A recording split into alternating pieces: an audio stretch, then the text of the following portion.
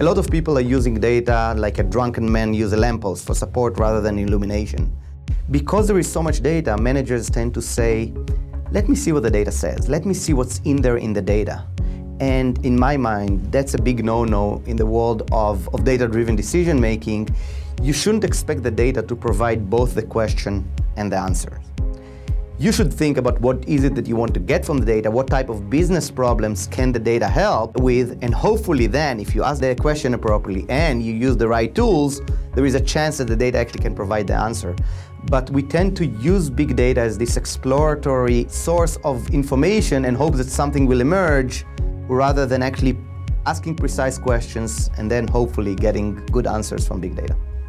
In my mind, the value of big data is actually not so much in the length of the data, it's not in the millions of customers or observations that we observe, but rather in the, in the, in the depth of the data or, or in the breadth of the data.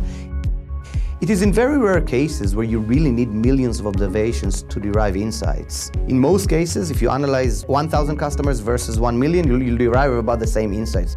One of the exceptions to that would be cases where we actually want to personalize and target our offering.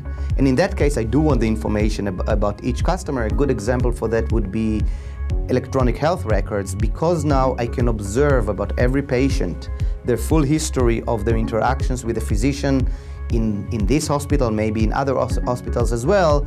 We can, for example, help people with chronic diseases better manage their disease. We can even uh, offload some of the work from physicians to nurse pr practitioners because they all observe the same data and, and the richness of this data. So it's really more about the breadth of the data than about the length of the data.